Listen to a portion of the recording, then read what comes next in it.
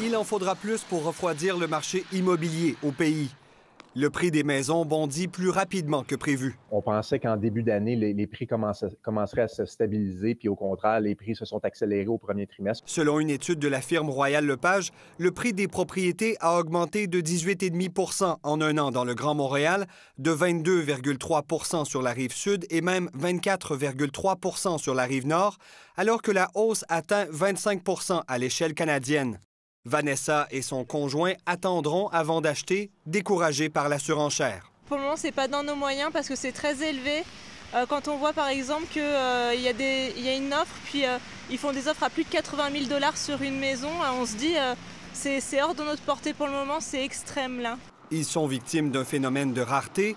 Trop peu de propriétés sont à vendre pour le nombre d'acheteurs. Habituellement, à ce moment-ci euh, de l'année, on devrait avoir environ 90 000 euh, propriétés à vendre au, Québec. Puis présentement, on est à moins de 40 000. Donc, c'est vraiment ce qui, euh, crée une immense pression sur les prix. Les gens sont assoiffés. Il y a, il y a des listes de gens qui voudraient acheter des propriétés cette semaine, mais il y a un manque d'inventaire. Difficile aussi de trouver un logement à louer.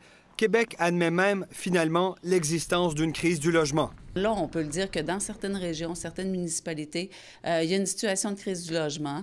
Maintenant, ça ne change rien parce qu'il faut travailler sur l'offre. C'est ce qu'on fait depuis le début, évidemment. On augmente l'offre de logement au Québec. Il faudrait effectivement plus de logements et de maisons à vendre, mais les mises en chantier continuent plutôt de chuter, alors que les prix de l'immobilier pourraient encore augmenter de 15% au Canada. Le prix médian d'une propriété dans le Grand Montréal est présentement d'environ 571 000 mais si les prévisions de Royal Lepage s'avèrent il frôlerait les 600 000 d'ici la fin de l'année 2022.